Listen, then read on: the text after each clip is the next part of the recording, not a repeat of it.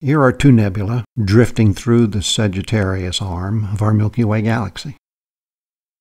The nebula on the right is called the Statue of Liberty, or Torchbearer. It's 9,000 light years away.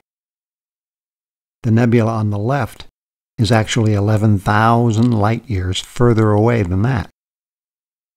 It is classified as a giant H II region. In fact, it's the largest nebula in the Milky Way. The delicate loops around the statue are approximately 100 light years wide and are caused by material being blown outwards by the intense radiation pressure from young stars in the center of the nebula. Most of these stars are hidden from our view in the bright area at the base of the loops.